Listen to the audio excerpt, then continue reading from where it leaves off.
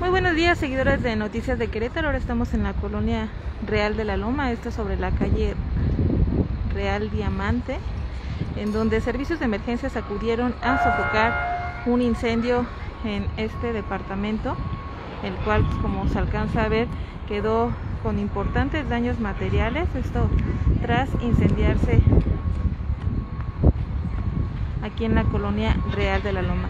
De acuerdo con la información que nos proporcionaron algunos vecinos, este mismo inmueble se había incendiado el domingo y el día de hoy nuevamente eh, fue incendiado. Al parecer habría sido provocado. En el lugar eh, acudieron bomberos, así como personal de protección civil. Eh, se encuentran elementos de la Policía Municipal de Querétaro, así como de la Fiscalía General del Estado. Desconocemos por qué ellos se encuentran tomando conocimiento de este incendio que, repito, se registra aquí en la colonia Real de la Loma.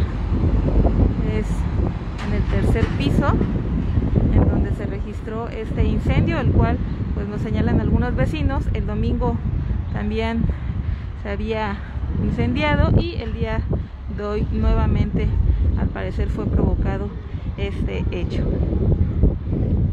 Ya en estos momentos pues ya los bomberos se están retirando y únicamente se está quedando personal de protección civil así como de elementos de la Fiscalía General del Estado quienes están tomando conocimiento de este hecho. Muchas gracias a todos, que sigan teniendo muy.